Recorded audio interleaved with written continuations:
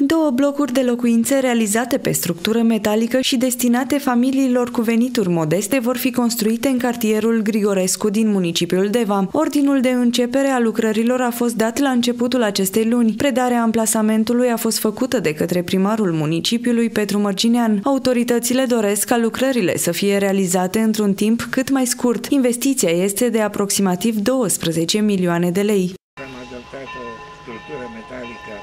Blocul are trei nivele, cadre grinzi metalice, betanele la planșe turnate pe uh, suprafețe de tablă cutată, iar toate închiderile realizate cu un sistem termoizolator din altă calitate. De asemenea, am căutat să evităm pericolele privind siguranța în exploatare. În acest sens nu avem gaz metan decât la centralele termice. Prepararea hranei se realizează pe plite aragaze electrice.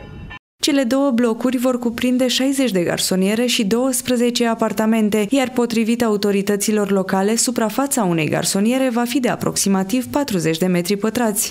Ne dorim să dezvoltăm această zonă a municipiului Deva, acest cartier, Uh, știu că erau, existau uh, probleme cu uh, locuitorii din această zonă, anumite persoane care stăteau în niște locuințe improprii, care mai deranjau vecinii și așa mai departe.